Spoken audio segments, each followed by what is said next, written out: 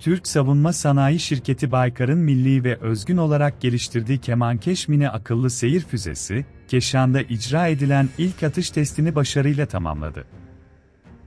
Baykar tarafından geliştirilen yüksek teknoloji ürünü insansız sistemler, testleri başarıyla geçmeye devam ediyor. Bayraktar TB2 SİHA'ya entegre edilen Kemankeş mini akıllı seyir füzesi de Keşan'da icra edilen motorlu ilk atış testini başarıyla tamamladı.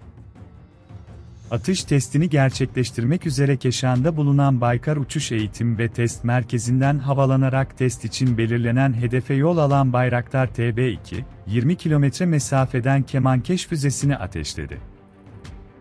Milli olarak geliştirilen jet motoruyla yüksek süratte 33 kilometre yol alan mini akıllı seyir füzesi belirlenen hedef bölgeye ulaşarak görevi gerçekleştirdi.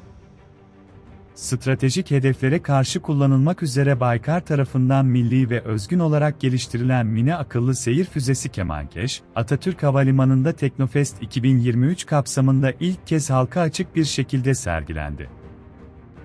Kemankeş, adını attığı okla en zorlu şartta dahi hedefi tam isabetle vuran okçulardan alıyor.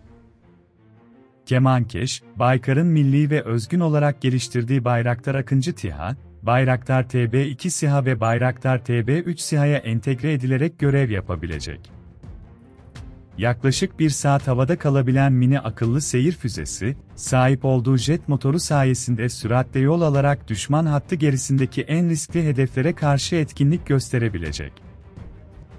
200 kilometreden fazla görev menziline sahip Kemankeş, yapay zeka destekli optik güdüm sistemi sayesinde hedefini tanıyarak zorlu hava şartlarında bile tam isabetle imha kabiliyetine sahip olacak. Yapay zeka destekli otopilot sistemi ile otonom uçuş gerçekleştirip stratejik hedefleri yüksek hassasiyette etkisiz hale getirerek muharebe sahasında dengeleri değiştirecek.